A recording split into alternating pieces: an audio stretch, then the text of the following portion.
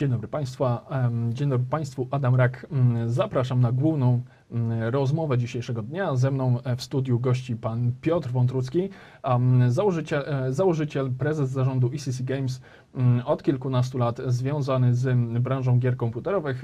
Pracował m.in. jako project manager w mm, e, CI Games, m.in. przy Sniper Ghost Warrior 1. Dzień dobry panu. Witam serdecznie, witam Państwa.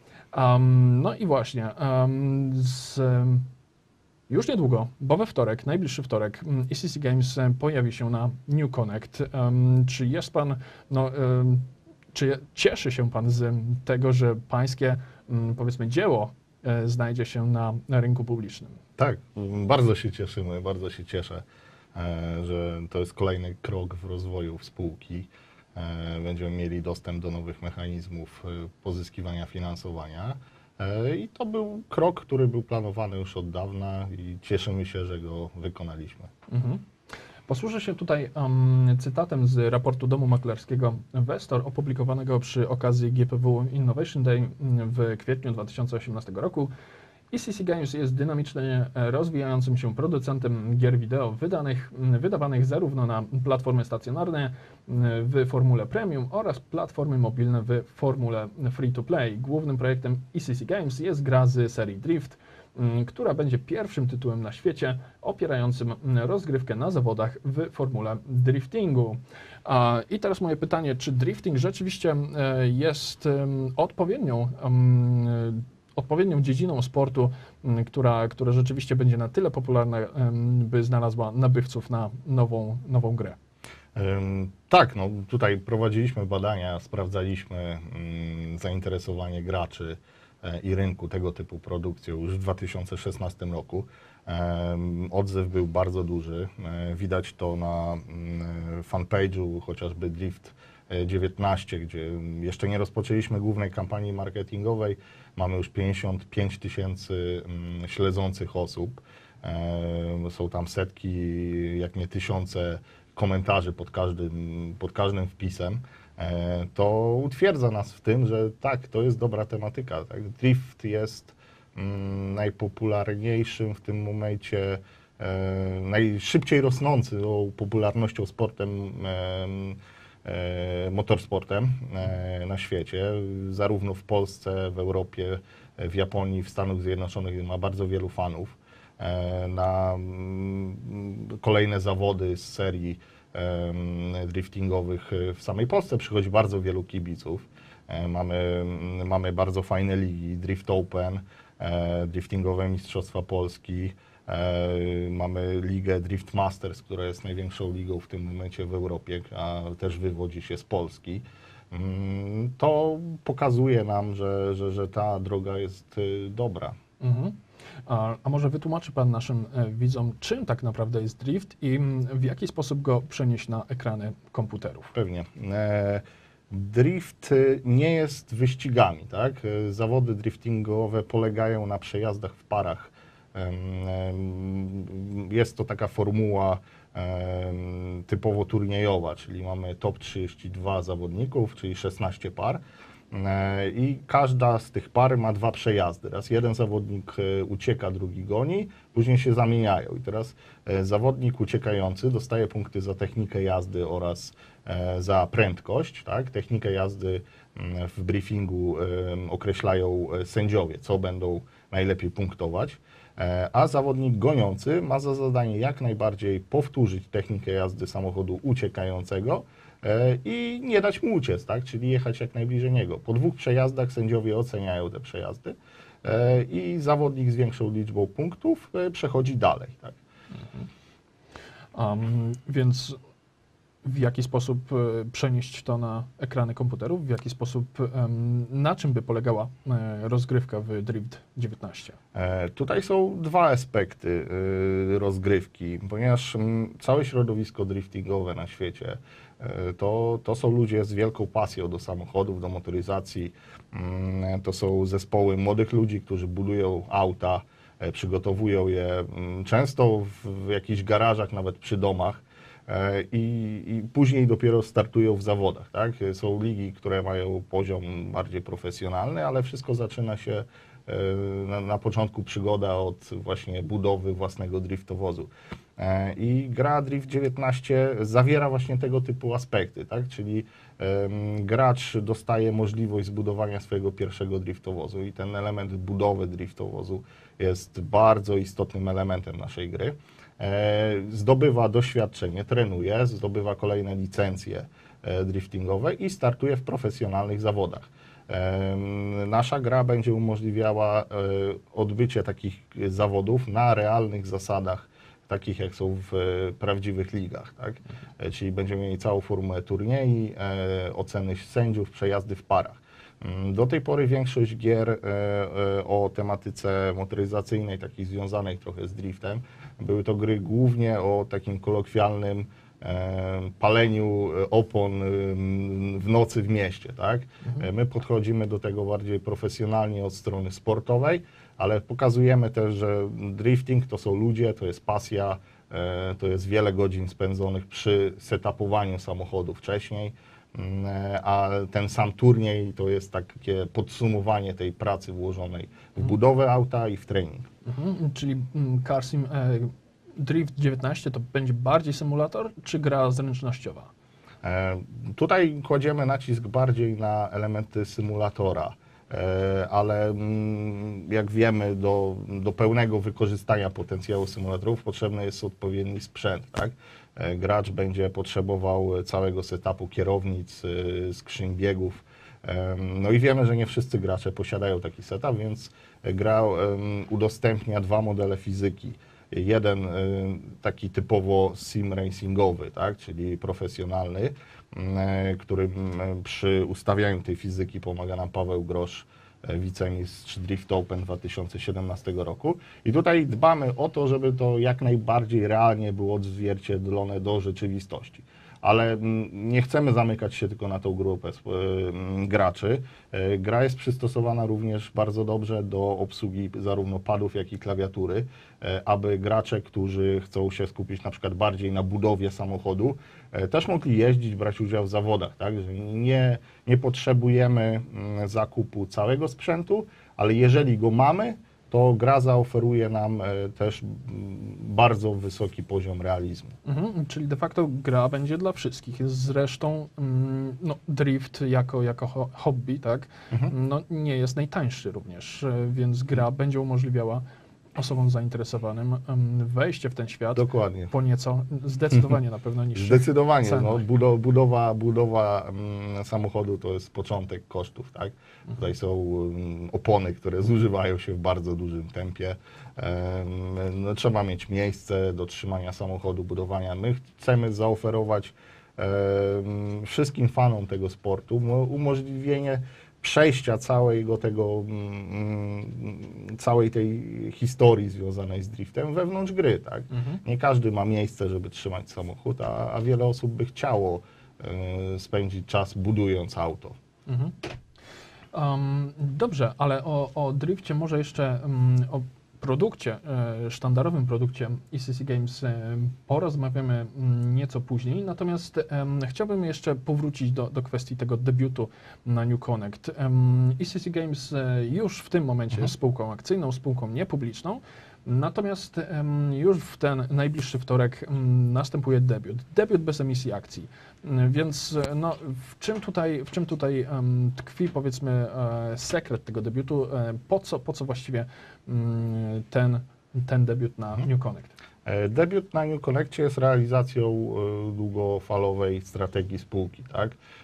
Naszym zdaniem New Connect pozwoli nam podnieść prestiż spółki, umożliwi e, korzystanie z instrumentów e, finansowania spółki. Tak?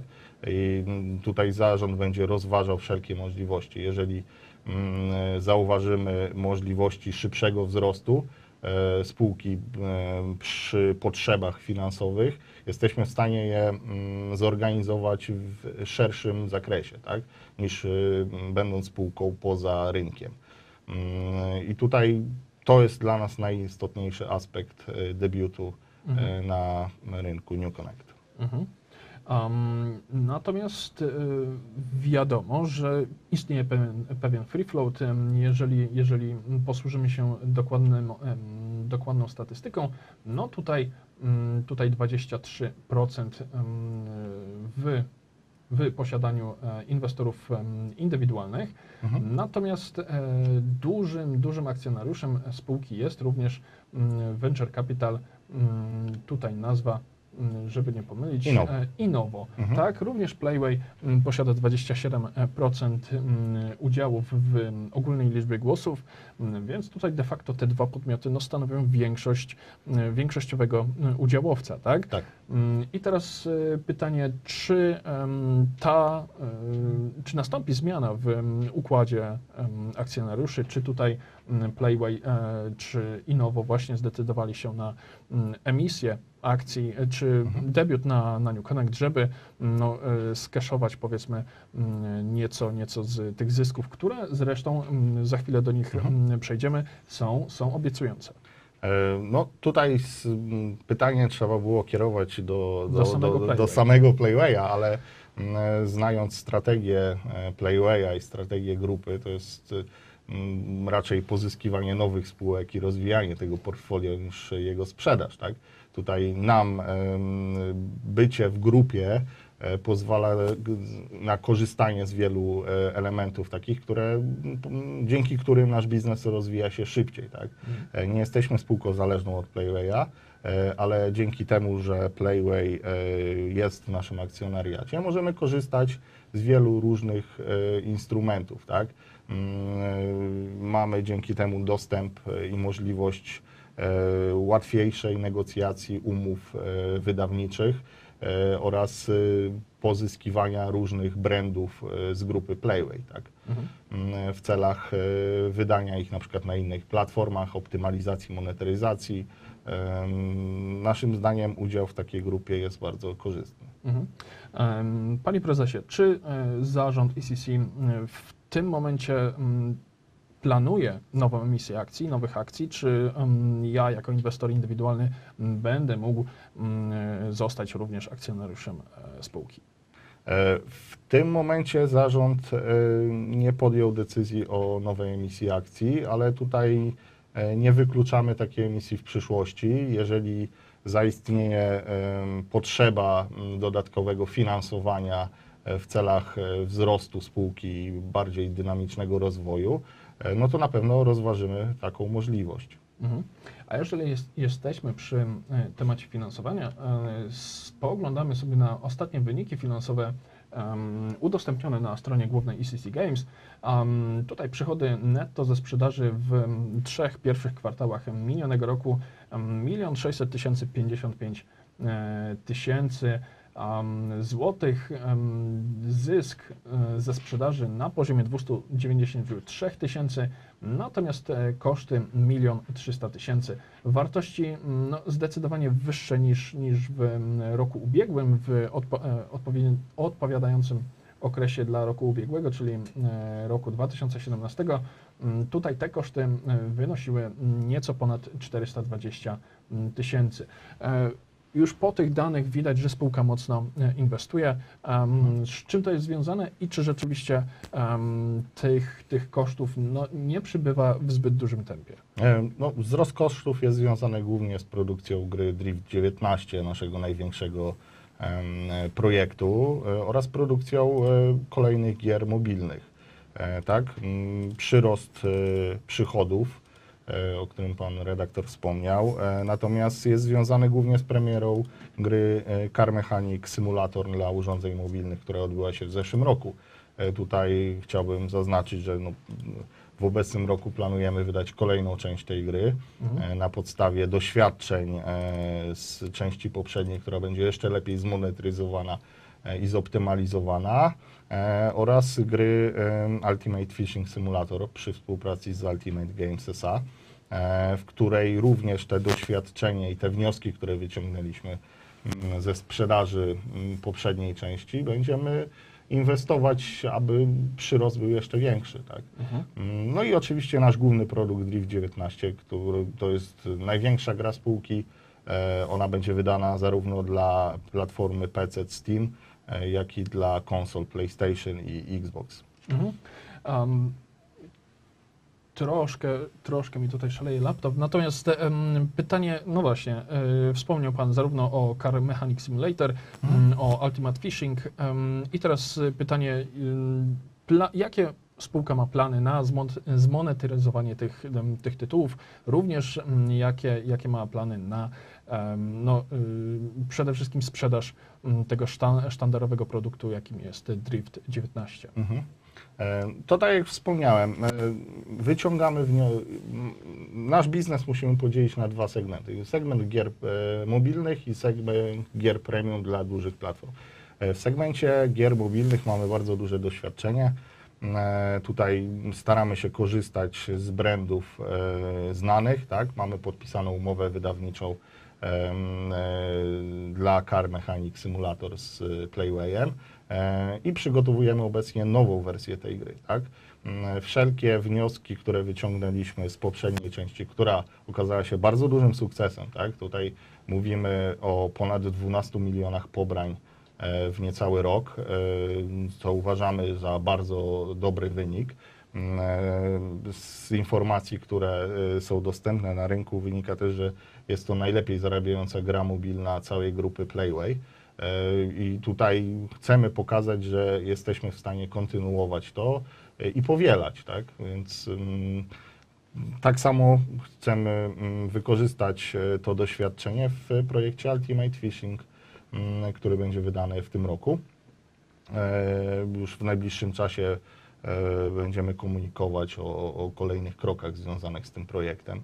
E, Planujemy soft launch w celu mm, optymalizacji tej monetyzacji i, i sprawdzeniu mm, już wewnątrz jakichś wybranych rynków, czy te mechanizmy, które tam wdrożyliśmy w tą grę są dobre. Mhm. I będziemy dalej rozwijać e, tą naszą gałęź gier mobilnych. E, Ale głównym, e, głównym naszym celem sprzedażowym w tym roku jest sprzedaż gry Drift 19. E, I tutaj już od dłuższego czasu prowadzimy komunikację z fanami gry w celu zbudowania jak największej społeczności. Tak? Nasz zespół składa się z fanów motorsportów. E, Uczestniczymy w wszelkich możliwych zawodach driftingowych e, na świecie. Mm, e, Byliśmy w Japonii, byliśmy na zawodach w Europie. Mm, Rozmawiamy zarówno z zespołami driftowymi, z którymi nawiązujemy współpracę marketingową w celu mm, zwiększenia zasięgu widoczności naszej gry.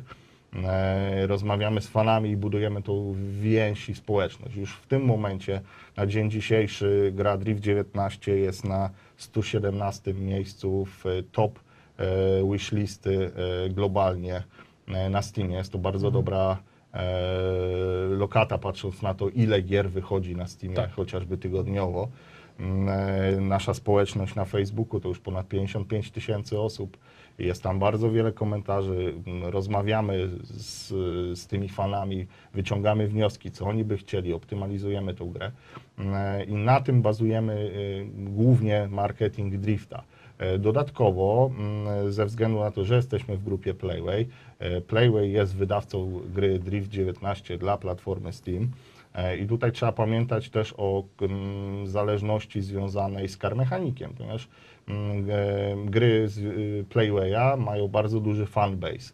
E, Tak, mamy bardzo dużo fanów, y, tak, i tutaj cross-promocje z serią Car Mechanic Simulator na Steamie e, będą bardzo istotnym elementem. Tutaj liczymy na mm, e, kupony rabatowe dla osób, które kupiły Car Mechanic Simulator, że otrzymają kupon rabatowy e, Na Drift Drift 19, aby mm, ZAK, y, abyśmy mogli aktywować tych graczy również dla e, naszej gry. Tutaj historycznie widzimy, że e, tego typu zabiegi, o których e, informowała spółka Playway, działały bardzo dobrze. W zeszłym roku na przykład House Flipper, e, podobna relacja była e, kuponów rabatowych dla gry House Flipper.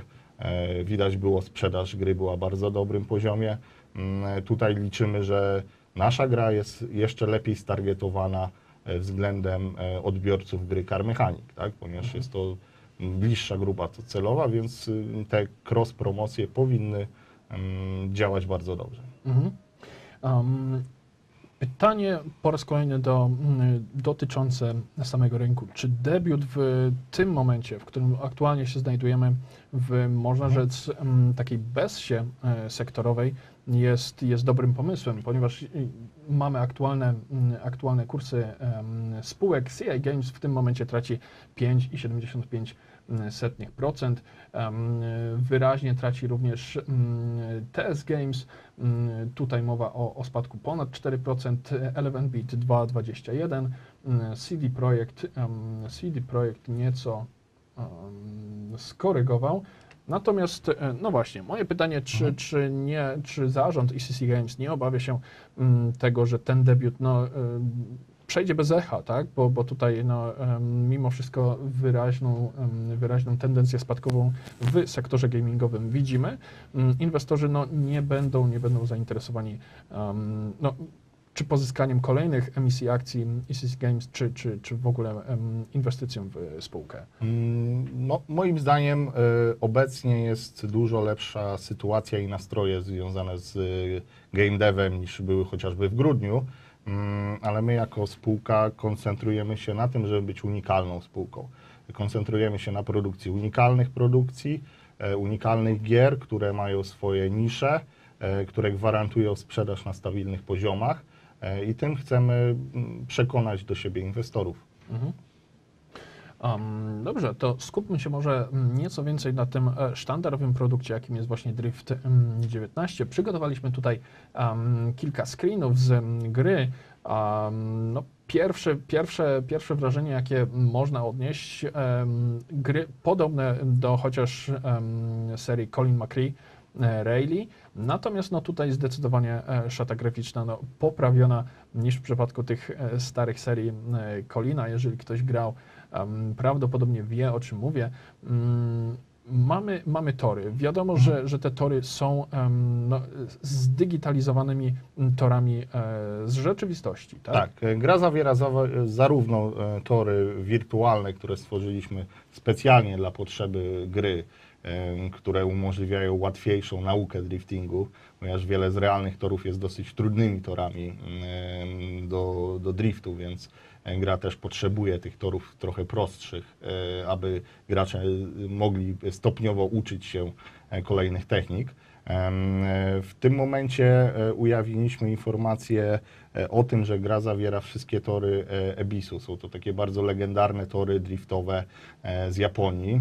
E, Tutaj jesteśmy pierwszą spółką, e, pierwszą grą, która będzie posiadała wszystkie tory Ebisu, e, cały kompleks mm, dostępny wewnątrz gry.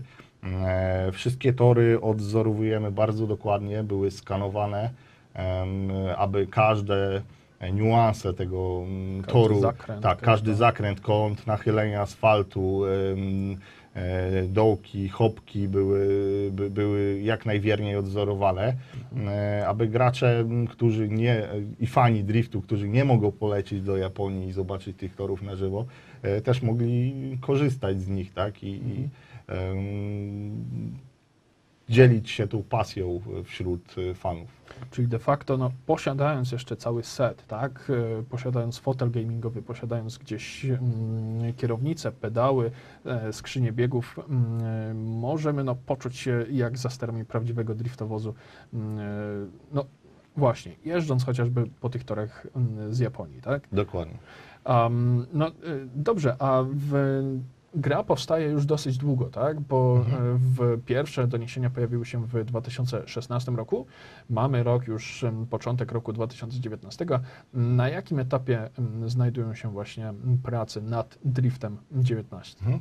E, Prace koncepcyjne rozpoczęły się w 2016 roku, ale taki główny development e, wystartował w e, roku 2017. E, Prace w tym momencie są już na bardzo zaawansowanym etapie. Mm, Polerujemy grę, e, dodajemy em, feature'y, czyli takie najlepsze ciekawostki, mm, takie jak widzimy, że społeczność graczy oczekuje. Mhm. E, Rozmawiamy z graczami już teraz na etapie produkcji. A czego gracze oczekują? No, gracze oczekują w bardzo wielu elementów oczywiście, tak? No tak. E, Tutaj mm, bardzo bacznie przyglądamy się propozycją dodania nowych torów e, od graczy. Tutaj spółka prowadzi negocjacje z właścicielami e, praw do tych torów. Mhm. E, I te tory również byłyby i te- skanowane. Do, tak? Dokładnie tak. Tutaj mm, gra posiada bardzo duży potencjał na dodawanie nowych torów, e, nowych ulepszeń e, już nawet po premierze gry. Tak? Tutaj mamy zaplanowane zarówno e, bardzo dużą ilość torów na samym początku, ale gra ma taką konstrukcję, że w łatwy sposób będziemy mogli ją rozwijać w późniejszym etapie, e, aby przedłużać e, zainteresowanie produktem. Tak? Mhm. Um, widzimy między innymi na, na tym screenie em, części, części silnika. Em, czy w grze Drift e, będziemy tylko i wyłącznie jeździć, tylko i wyłącznie driftować, tylko i wyłącznie się ścigać, czy również tutaj właśnie fani chociażby e, car mechanika będą em, mogli znaleźć no, podobną, podobną rozgrywkę, czyli chociażby dostosowywanie tych chociażby czułości, tak, czy, czy sprzęgła, czy, czy hamulców, czy Dokładnie. zmianę, zmianę różnej, różnych parametrów silnika. Mm, Tu Drift 19 oferuje bardzo dużo. Mamy zbudowane e, realne modele silników, e, zawieszeń, wydechów, całej konstrukcji samochodu. E, W typowej grze wyścigowej gracz spotyka się z czymś takim, że ma guzik, który naciska, dodaj więcej mocy, płaci jakieś monetki i to wszystko. W grze Drift 19 musi otworzyć maskę, rozkręcić silnik, włożyć no, większe turbo, zestroić ten silnik i sprawdzić go na torze, więc tutaj realizm e, jest bardzo duży. E, Jest też wiele e, aspektów edukacyjnych, ponieważ możemy się w zaciszu domowym dowiedzieć o konstrukcji samochodu, o konstrukcji silnika. I tutaj złożoność jest bardzo duża. Posiadamy bardzo dużo części tuningowych, czyli gracz zakupuje wewnątrz gry jakiś samochód z podstawowym silnikiem, wygrywając kolejne turnieje, odblokowuje e, lepsze części, e, może je zakupić e, wewnątrz gry e, i zamontować w samochodzie. Tak? Więc jest tutaj bardzo duże pole do popisu dla osób, które lubią mechanikę samochodową, budowanie driftowozów. E, Ten aspekt jest bardzo ważny i stanowi bardzo dużą część gry. Podejrzewam, że właśnie drift jest skierowany do, do takiej grupy osób, natomiast co jeżeli gracz nie zna się na mechanice samochodowej? Czy, czy, te, em, czy ta mechanika właśnie samej gry została jakoś uproszczona? E, To znaczy, to jest podzielone na, znowu na dwa tryby. Jeżeli ktoś chce czerpać dokładnie z wszystkich aspektów mechaniki samochodowej, my to mu umożliwiamy, ale jest też moduł taki, który pozwala na prostsze tuningowanie samochodu. Tak? E, Nie musimy wiedzieć dokładnie, gdzie daną t- część przykręcić. E, e, Pomocnik wewnątrz gry pokaże nam, że tą część trzeba umieścić w tym miejscu, więc e, Tutaj będziemy mogli się wtedy tego nauczyć, ale nie potrzebujemy tej zaawansowanej wiedzy mechanicznej, aby grać w grę oczywiście. Mhm. To pytanie prawdopodobnie na, na które czekają chyba wszyscy e, fani Drift 19. Kiedy możemy spodziewać się em, premiery gry? Na pewno w tym roku e, nie ogłosiliśmy jeszcze dokładnej premiery. E, tutaj trwają rozmowy z naszymi partnerami biznesowymi i z wydawcą i na pewno w najbliższym czasie taka dokładna premiera zostanie ogłoszona. Mhm. Pytanie, pytanie również ważne dla tej części, którzy, e, dla tej części graczy, którzy, którzy nie mają najnowszych maszyn. Mm, Czy gra, e, widzimy tutaj na, na screenach, e, no wydaje się przynajmniej na screenach bardzo ładna. Wszystkie te, em, można powiedzieć, wodotryski graficzne bardzo mocno obciążają chociażby m, e, kartę graficzną czy, czy różne inne m, części komputera. E, Czy gra będzie em, odpowiednio zoptymalizowana, aby właśnie ci gracze ze starszymi maszynami nieco, nieco również e, tego driftu się nauczyli? Oczywiście, no, mm, e, naszym celem jest zoptymalizowanie gry tak, aby działało jak najlepiej na starszych maszynach. Tak? Tutaj obecnie prowadzimy już prace mm, optymalizacyjne i mm, staramy się, aby te wymagania finalne były jak najbardziej przystępne dla wszystkich graczy. Um, na samym początku mówiliśmy, że Drift 19 będzie grą jedyną w swoim rodzaju. Um, premiera gry się zbliża. Liczymy na to, że, że w Mhm. tym roku się pojawi. Um, czy to będzie pierwsze półrocze, czy, czy drugie, jeszcze nie wiadomo. Podejrzewam, że nie może Pan powiedzieć. No niestety. Natomiast e, co, co po drifcie? Co, e, co już po premierze? Czy tylko odcinanie kuponów od tej, miejmy nadzieję, udanej produkcji, Mhm. e, zarówno pod względem samej rozgrywki, jak i, jak i pod względem finansowym? Czy może pracę nad driftem chociażby 20, czy, czy kolejnymi innymi produkcjami z sektora motoryzacyjnego? E, Gra Drift 19 była przygotowywana w ten sposób, abyśmy mogli stworzyć odpowiednie mechanizmy umożliwiające wykorzystywanie w kolejnych produkcjach. E, Czyli tutaj cały system fizyki jazdy samochodów i mechaniki samochodowej jest przygotowany w ten sposób, e, aby spółka mogła e, tworzyć e, w prostszy i przystępniejszy sposób i skupić się na dodawaniu e, większej ilości kontentu dla graczy, kolejnych gier z serii takich motoryzacyjnych. Tak? Już teraz mm, mm, sprawdzamy rynek, badamy nowe tematy związane z różnymi dyscyplinami motorsportu. Tutaj jeszcze nie możemy mówić dokładnie, ale e, spółka już bada e, kolejne możliwości tworzenia gier dla, z tego samego segmentu. E, I oczywiście em, nie wykluczamy kontynuacji driftu po sukcesie pierwszej części. Mhm. To, to, to się wydaje oczywiście naturalne. Tak? Miejmy nadzieję, że e, produkcja będzie udana. Miejmy, e, miejmy nadzieję, że również debiut m, się uda. Przypomnijmy, już we wtorek m, o godzinie O godzinie 11.30. debiut m, ECC Games na parkiecie New Connect. Em, czy, em, czy w związku z tym e, planują Mhm. Państwo e, jako ECC Games jakąś konferencję prasową, jakąś imprezę m, związaną właśnie z tym wydarzeniem? E, Debiut na New Connectie będzie mm, we wtorek 11 lutego o godzinie 11.30. E, Debiut jest oczywiście otwarty dla wszystkich gości. Serdecznie zapraszamy. E, Będzie prezentacja spółki i planów na najbliższe miesiące, lata.